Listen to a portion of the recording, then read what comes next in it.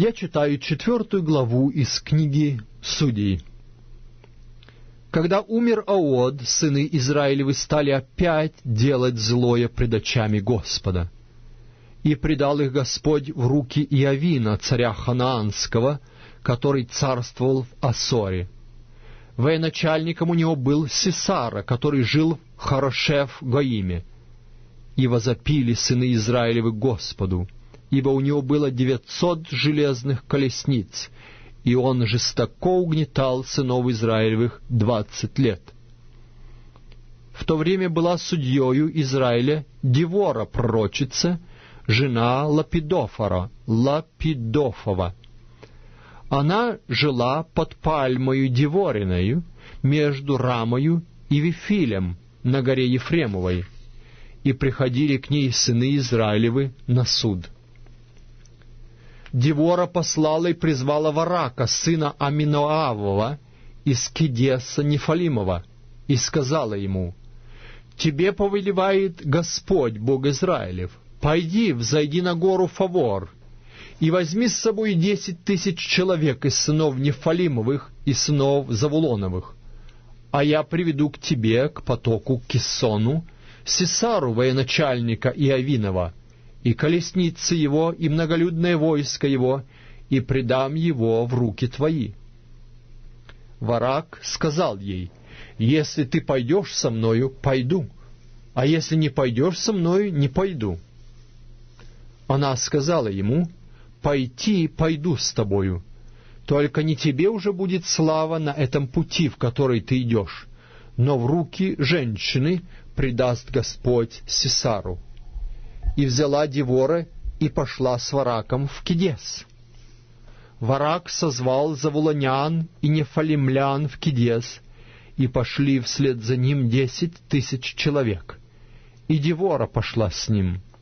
Хевер, киньянин, отделился тогда от киньян сынов Ховева, Ховава, родственника Моисеева, и раскинул шатер свой у Дубравы в Цаанниме близ Кадеса и донесли Сесаре, что Варак, сын Авинуамов, взошел на гору Фавор. Сесара созвал всех колес... все колесницы свои, девятьсот железных колесниц, и весь народ, который у него, из Харошев Гаима к потоку Киссону. И сказала Девора Вараку, «Встань, ибо это тот день, в который Господь предаст Сесару в руки твои. Сам Господь пойдет пред тобою». И сошел враг с горы Фавора, и за ним десять тысяч человек. Тогда Господь привел в замешательство Сесару, и все колесницы его, и все ополчение его от меча Варакова, и сошел Сесара с колесницы, и побежал пеший, Варак преследовал колесницы его и ополчение до Хорошев Гаимя, и пало все ополчение Сесарина от меча, не осталось никого. Сесара же убежал пеший в шатер Иаили, жены Хивера Киньянина, ибо между Иовином, царем Асорским, и домом Хивера Киньянина был мир — и вышла Иаиль навстречу Сесаре и сказала ему, «Зайди, господин мой, зайди ко мне, не бойся». Он зашел к ней в шатер, и она покрыла его ковром. Сесара сказал ей, «Дай мне немного воды напиться, я пить хочу». Она развязала мех с молоком и напоила его, и опять покрыла его. Сесара сказал ей, «Стань у дверей шатра, и если кто придет и спросит у тебя и скажет, нет ли здесь кого, ты скажи «нет». Иаиль, жена Хивер, Хиверова, взяла кол от шатра и взяла молот в руку свою, и подошла к нему тихонько, и вонзила кол в висок его так, что приколола к земле, а он спал от усталости и умер.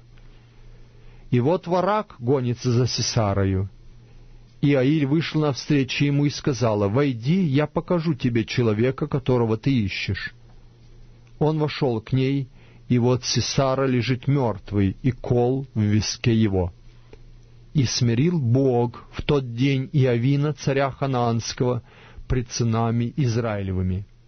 Рука сынов Израилевых усиливалась более и более над Иовином, царем ханаанским, доколе не истребили они Иовина, царя ханаанского.